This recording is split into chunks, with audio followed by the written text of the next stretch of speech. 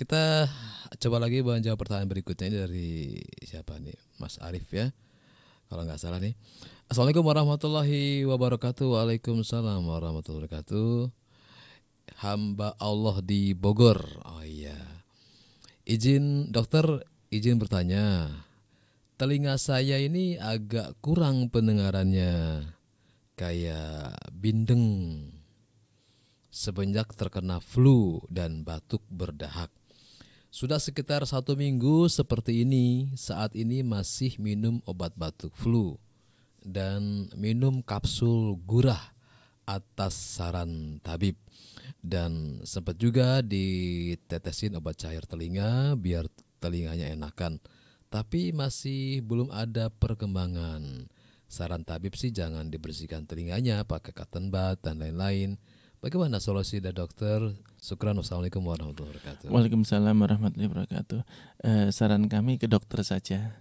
Ke dokter saja nanti dilihat eh, mungkin kotor, mungkin ada infeksi, mungkin ya ada sebab lain lah yang yang harus intervensi medis ya. Tidak cukup dengan obat-obat tadi yang diminum. Seperti itu. Saran saran kami ke dokter saja ke dokter e, biasanya kotor biasanya sih. Kotor yang yang tidak bersih dengan e, apa namanya dengan tadi pun obat tetes kan nggak tahu ya obat tetes apa kan tidak tadi dibahas. Obat tetes itu bisa berbeda e, tergantung iya, sebabnya. ya. iya untuk jamur sendiri untuk infeksi sendiri untuk membersihkan sendiri. Seperti hmm. itu. Saran kami ke dokter ya. Semoga sehat. Safakallah. Ya saya tunggu juga untuk anda yang lainnya ingin ber uh, bertanya-tanya silakan tadi sudah saya sebutkan nomornya untuk ke telepon di 085 2847 untuk SMS uh, 081 Masih ada waktu dokter kita masih bahas yang agak lebih rinci lagi barangkali untuk ke yang gangguan telinga ini. Tadi sudah dibahas bagian luar, bagian tengah dan juga bagian dalam.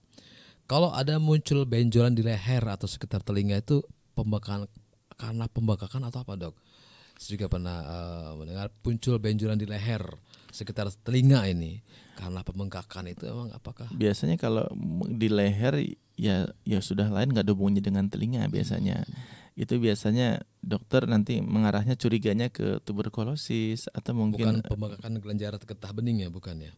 Ya itu itu pembengkakan getah bening. Cuma oh. pen, kan ada sebabnya sendiri. Ya, ya, bisa ya. virus bisa hmm. kuman bisa bakteri begitu. Itu sih. Bisa keganasan juga gitu. Jadi kita harus kalau ada benjolan ya sudahlah segera ke dokter saja begitu. E, ke dokter dan supaya tahu oh saya ini sakit A gitu maksudnya gitu. Jadi jangan sampai kita tuh ada benjolan kemudian itu apa benjolan? Nggak tahu belum ke dokter padahal udah setahun misalkan. Jangan ya jadi supaya gini uh, yang paling sering adalah tuberkulosis. Oh, gitu. ya tuberkulosis. Nah kan kalau tuberkulosis ya jangan sampai seseorang tuberkulosis kemudian tidak diobatin karena menular begitu. Sehingga harus diobatin. Ya. Tadi juga disebutkan bahwa anak kecil tuh uh, sering terganggu kena telinga karena batuk pilek bukan dari mungkin karena masih origin masih or bukan masih masih baru ya yeah. alat dengarnya. Jadi virus juga nggak bisa masuk dari situ malah masuk dari batuk pilek gitu iya, dok ya? iya betul dari batuk kalau anak kecil iya infeksi telinga bagian tengah itu biasanya dari batuk pileknya. Maka kalau ada anak kita batuk pilek ya jangan diabaikan gitu. Jadi harus apalagi batuk yang yang keras itu ya. Iya sampai ngoklok gitu ya biasanya itu ya. ya. Jadi jadi jadi jangan diabaikan. Walaupun mungkin anaknya aktif ya meler. Kemudian kan kita kadang-kadang anu ya eh, ada ada sebagian saudara kita itu kalau anaknya aktif kemudian batuk itu dianggap sesuatu yang biasa gitu. Pilek meler dok biasa dok nanti sembuh sendiri. Ada yang seperti itu. Jadi baiknya ya dia diobatin saja, oh, diobatin. Iya, iya, iya. Kalaupun tidak misalkan kalaupun tidak misalkan uh, intervensi obat oleh dokter, hmm. paling tidak yang mm, apa yang dapat menyebabkan batuk pileknya kita hindari gitu loh. Jangan sampai hmm. sudah meler anaknya dikasih uang untuk beli es gitu ya. Es yang tidak sehat gitu. Atau mungkin jajan yang tidak uh, terawasi begitu, tidak terpantau begitu. Jadi harus kalau sudah anak kita batuk pilek itu udah harus dipantau gitu loh. Kalaupun kita ngasih uang, kita harus bertanggung jawab uang ini pun dijajankan apa kita harus tahu begitu loh. Jadi orang tua itu harus bertanggung jawab ngasih uang itu harus tahu dibelikan apa uang ini. Dipantau ya kalau bisa Iya. ya. Iya. Hmm. Iyalah, jangan sampai dibelikan yang macem-macem nanti beli es. Udah tahu musim dingin, musim hujan belinya es.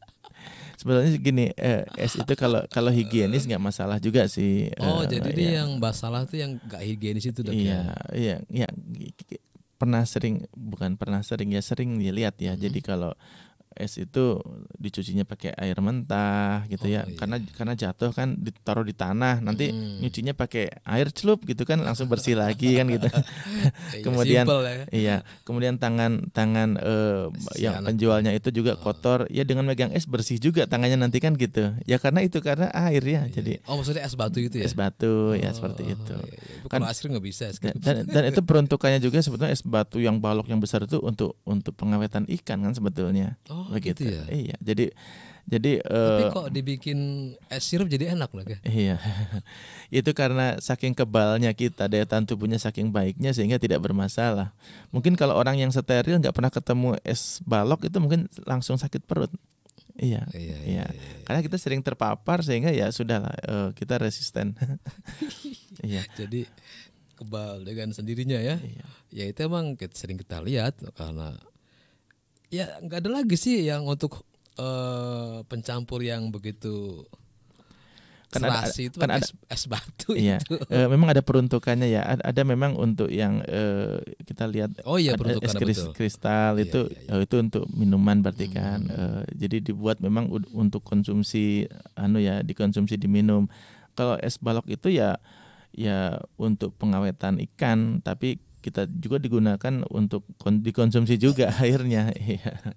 Justru lebih- laku dijual di apa namanya di depot-depot es itu ya. Depot-depotnya kayak kan isi balok semua. Karena murah. Iya, emang baiknya sih kita kalau bikin es batu ya bikin sendiri di freezer ya. Airnya sudah jelas gitu kan ya. Terus juga kita bikin sendiri. Nah itu. Tapi kadang kan orang maunya simple gitu, simple murah. Kalau bikin lama, tinggal beli di warung sudah ada gitu ya. Oke, kita masih menunggu beberapa pertanyaan lagi dan baik kita eh, sementara kita break lagi aja dulu. Eh, jangan ke mana-mana, Anda bisa bertanya-tanya di acara ini melalui nomor telepon yang sudah kami sediakan di 085 284 SMS atau WhatsApp di 081321461079. Untuk Facebook Anda bisa ketik Radiku Cirebon. Jangan lupa nanti ucapkan salam dulu, selawat serta cantumkan nama dan juga domisili Anda baru pertanyaan Anda. Kami segera kembali.